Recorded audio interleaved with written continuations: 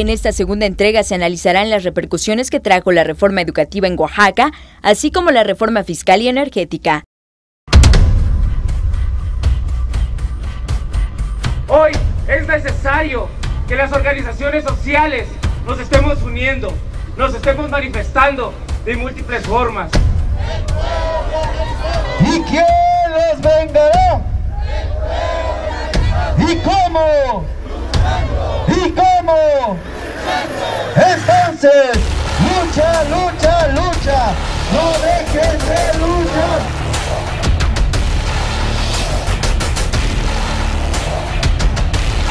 La reforma educativa es la que más ha provocado movilizaciones, manifestaciones y bloqueos en el territorio mexicano.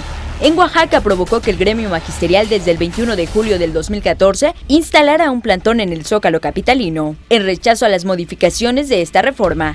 Es indefinido, no tenemos ningún, ninguna fecha para poder levantarlo. Decirles que de manera rotativa estarán participando las regiones del Estado Hoy Tuxtepec y La Cañada ya hicieron presencia. Instalamos a las 8 de la mañana con 10 minutos la instalación formal del plantón, que estaremos esperando después a la costa y de manera consecutiva a las otras regiones. El plantón que inició como representativo fue aumentando su capacidad por los maestros y vendedores ambulantes que se instalaron en el primer cuadro de la ciudad, provocando el cierre de más de 174 comercios de los 400 existentes en el centro histórico.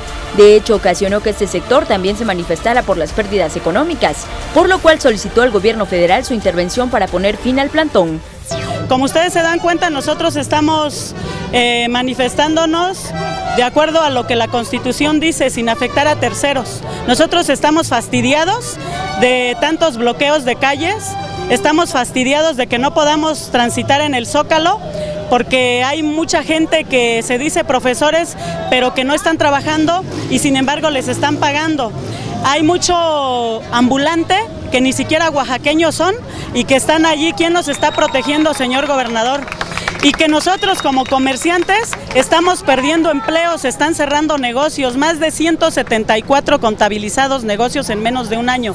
En abril de 2014, la Presidencia de la República interpuso ante la Suprema Corte de Justicia de la Nación una controversia constitucional para los poderes ejecutivos y legislativos de Oaxaca por no aplicar esta ley y por no realizar una armonización que hasta la fecha no ha sido posible, debido a la poca productividad de los diputados de la 62 segunda legislatura del Congreso local. Ante ello, la presidenta de la mesa directiva del Congreso, Leti Jiménez Valencia, aseguró que en el nuevo año legislativo se retomará el tema educativo. La reforma educativa es un tema eh, mucho más eh, profundo porque toca aspectos sociales. Eh, tendríamos que lograr los consensos, pero sobre todo estudiar la realidad de Oaxaca. me refiero a la realidad de Oaxaca en que precisamente hay escuelas a lo largo y ancho del estado de los 570 municipios que por supuesto eh, hablan dialectos, están en condiciones eh, lamentables y creo que habrá que darle a Oaxaca una ley que lleve todas esas demandas.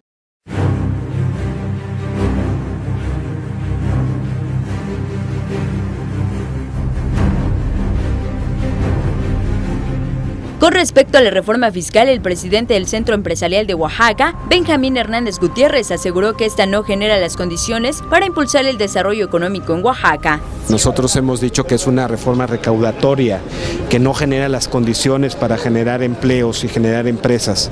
Más que todo es cargarle más la mano a las empresas ya existentes. Y eso obviamente pues ha destanteado el tema de la, de la operación de los, de los negocios. Le ha quitado eh, movilidad a las empresas, le ha quitado capital de trabajo a las empresas. No, pues qué, qué mala onda. apenas se nos alcanza y estar pagando. Molestos porque el pueblo sigue igual. Que no sea el gobierno de Peña Nieto que no iba a subir ya la gasolina, ¿no? Y ya, ya volvió a subir. En cuanto a la reforma energética, el diputado local por el partido Nueva Alianza, Jepté Méndez, enfatizó que es necesario vigilar la aplicación de esta reforma para apuntalar el desarrollo económico en la entidad. Bueno, en temas energéticos eh, no hay leyes reglamentarias aquí en Oaxaca, no hay leyes secundarias. Lo que hay que estar atentos es de que eh, la realidad de Oaxaca se adecue también a la, a, la, reforma energética y por supuesto que debemos estar atentos a que no se cometan atropellos y que sobre todo Salina Cruz despegue eh, potencialmente porque tiene todo para crecer.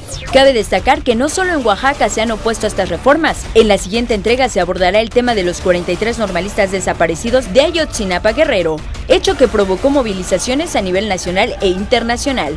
Con información de Elizabeth López para MBM Televisión.